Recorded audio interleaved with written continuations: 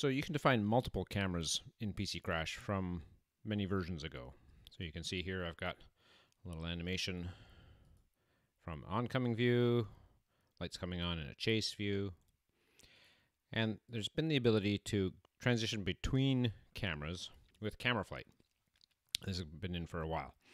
But in 14.1, you can now use cameras that have been defined with relative camera positions in the camera flight. So I'm just going to open camera flight here. You see I've predefined first minus four seconds is going to be from the oncoming view. Hold that until minus one second, and then at zero seconds, I've got transitioning to the chase view. So if I check that I want to use the camera flight, then when I play, you'll see we are on the oncoming view, then we zoom in and transition to the chase view.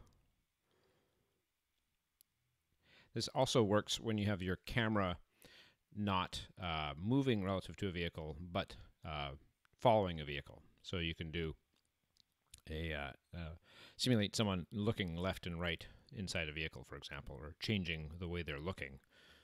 So there you go. Uh, camera flight with relative camera positions in PC Crash 14.1.